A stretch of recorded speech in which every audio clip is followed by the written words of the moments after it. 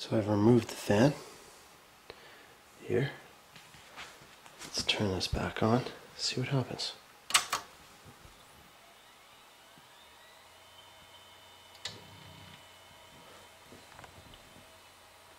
Wow.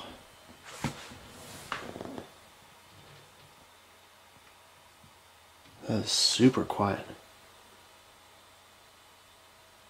I could totally live with that.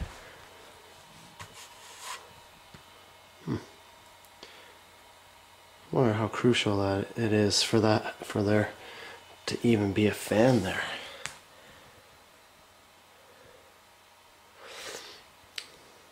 Anyways, I'm gonna I'm gonna search around my scrap pile here for a fan. I'll be back. Oh, looky here.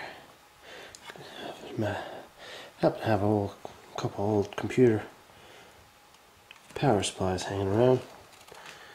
Uh, what does this one say? Well, all I know is that this one says super quiet. Super quiet power. Whatever. I'm gonna see if that one is super quiet. Let's get that out of there. Okay, so I've noticed something pretty interesting here. Okay, here's the the supposed new fan. It's supposed to be real quiet.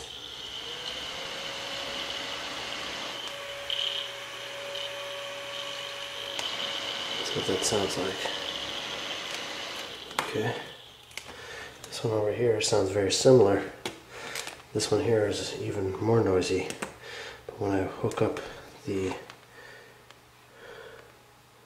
original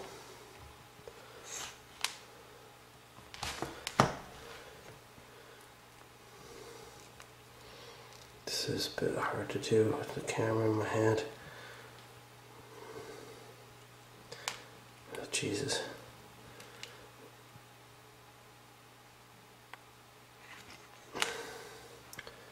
Okay.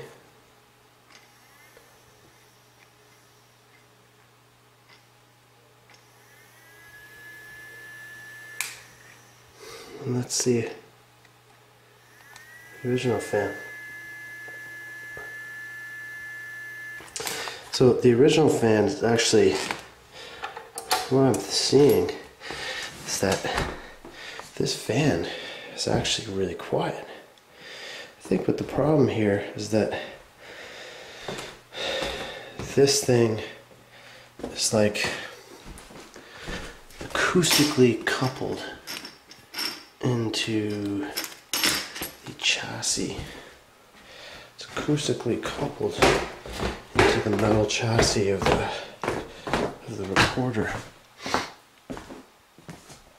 Right, because that sits on here and that's like bolted onto that. And then this is bolted onto here.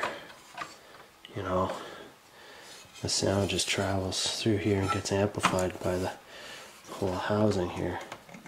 Because it's a uh, basically it's a it's a resonator box is what it is.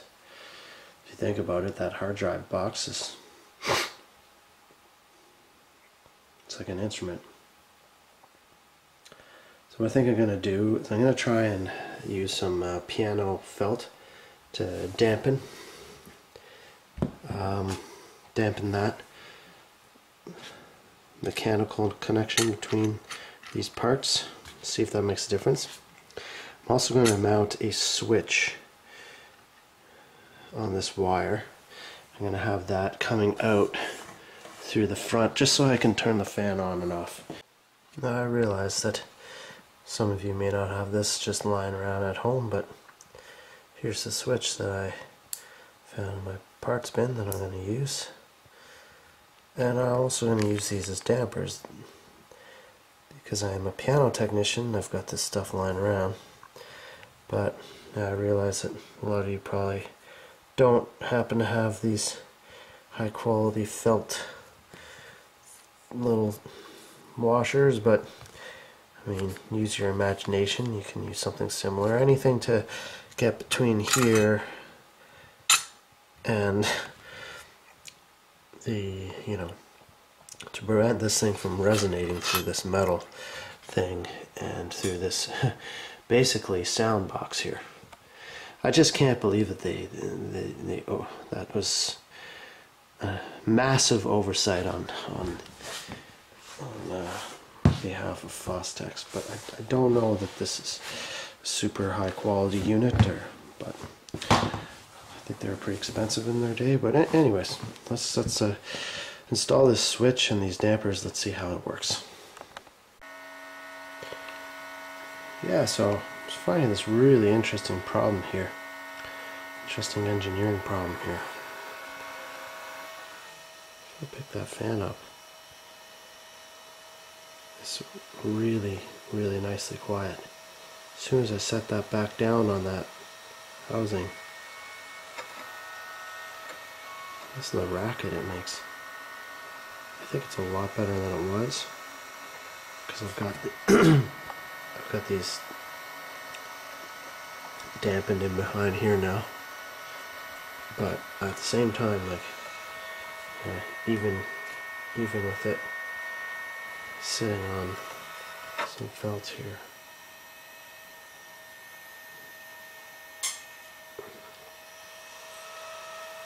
still it's less noise but as soon as it touches the housing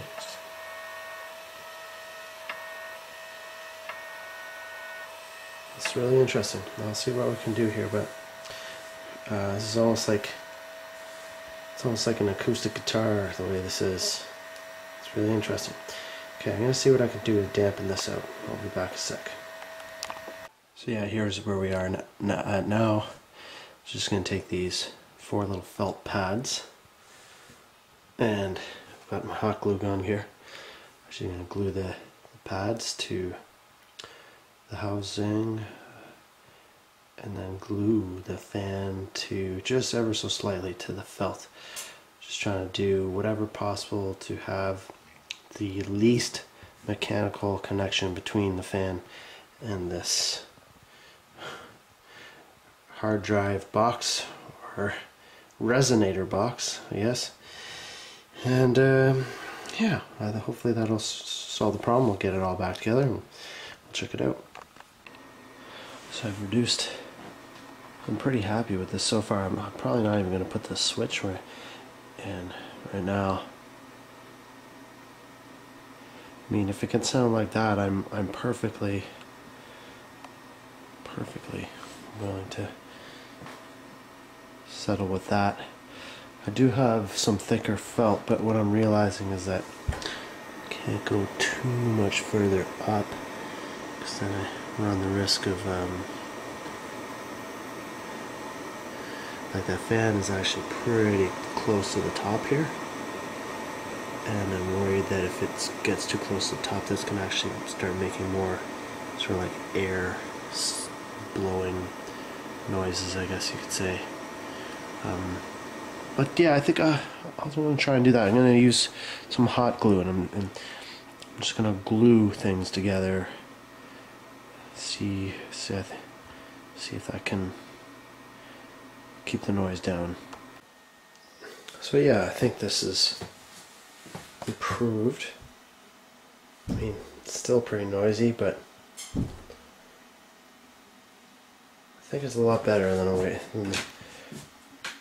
than, the way it was. I can I can tolerate that. I think. Well, we'll see. Um, still kind of noisy for me, but it's okay. It's it's a lot better than than it was. Anyways, at least if you have this this same unit, you can uh, troubleshoot this, and and um, maybe if you've got some of your own suggestions, you can make this situations a little better. Um, anyways, hope you enjoyed the video, and uh, happy recording.